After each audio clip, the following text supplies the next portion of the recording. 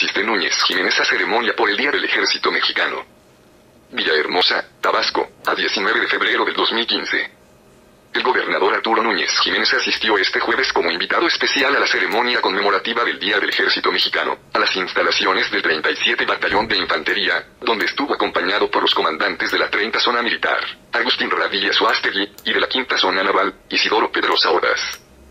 En los festejos del 102 aniversario de la creación del ejército mexicano, el comandante de la 30 zona militar dio lectura al discurso que pronunció esta mañana el titular de la Secretaría de la Defensa Nacional, Sedena, Salvador Cienfuegos Cepeda, en el Campo Marte de la Ciudad de México, ante el presidente Enrique Peña Nieto.